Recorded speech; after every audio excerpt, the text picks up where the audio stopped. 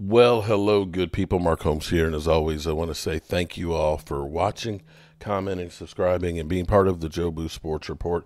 Without you guys, as well as you ladies, you know that this literally does not work. I hope everybody's having a great day.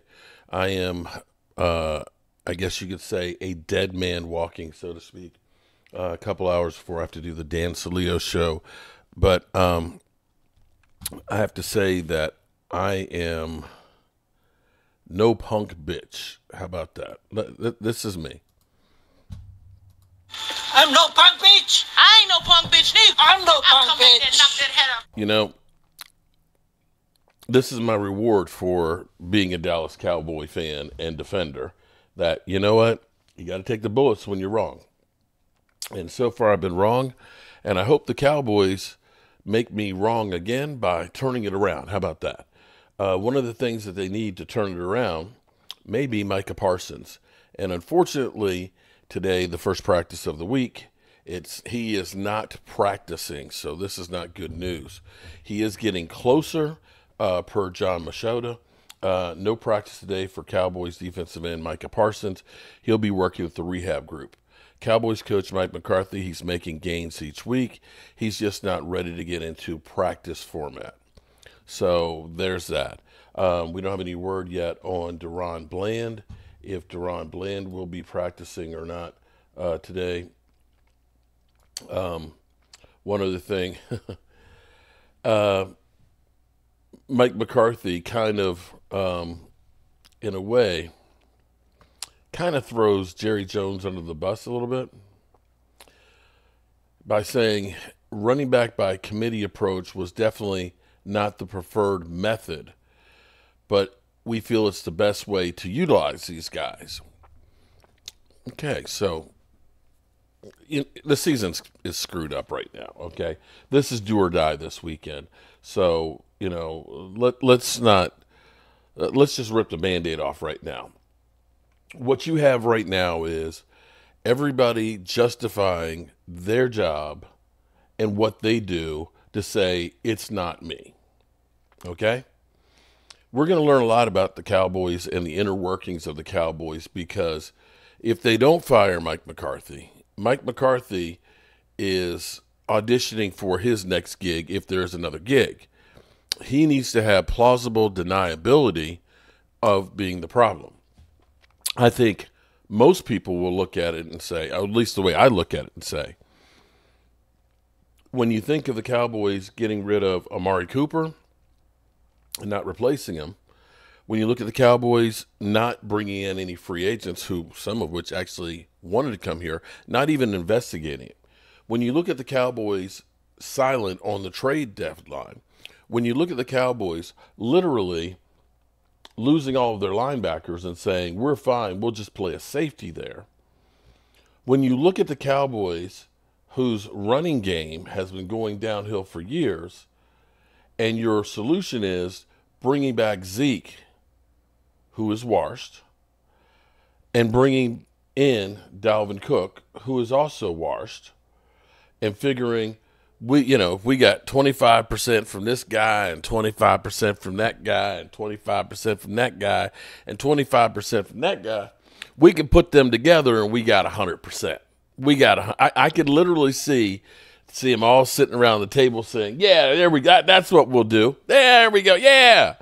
Yeah we'll, we'll take yeah we'll, and, and we'll be relevant. We'll, we'll, we'll create one great big running back. And it's failed.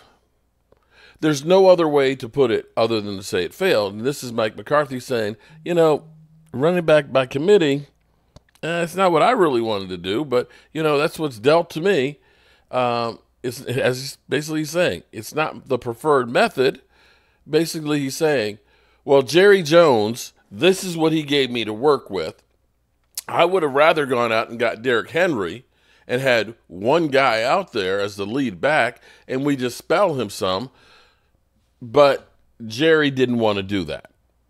Jerry didn't want to do that. So it's not the preferred method.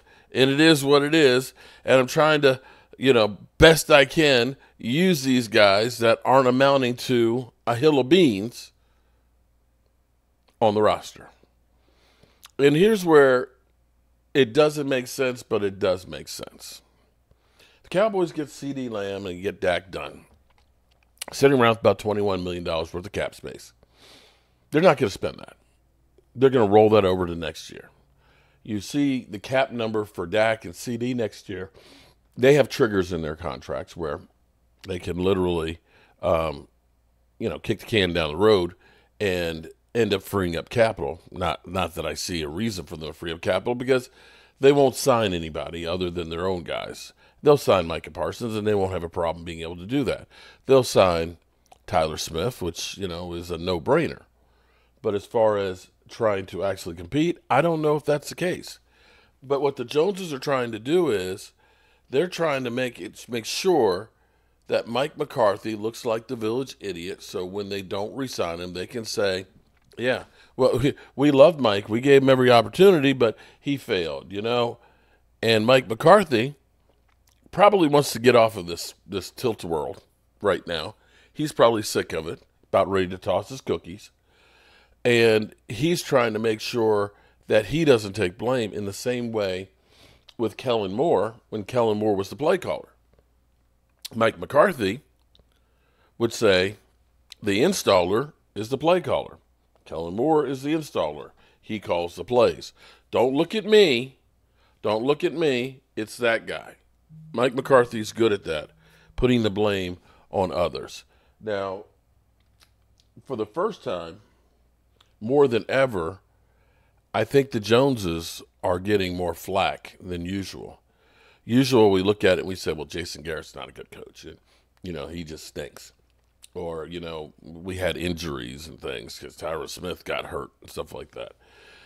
Now people are beginning to go ahead and laugh at the Joneses and say, you are the problem for the first time.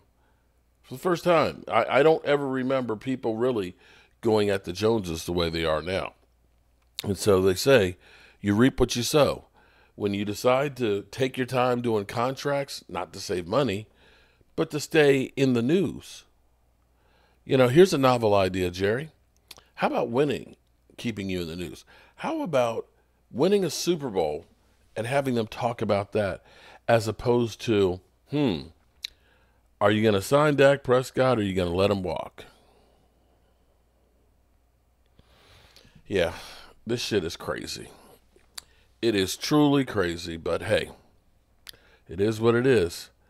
All right, good people. I hope you're having a great hump day. I'm sure that um, Dan Salio and Philly 500, they're going to be trying to hump all over me today in the live stream. Not looking forward to it. Peace.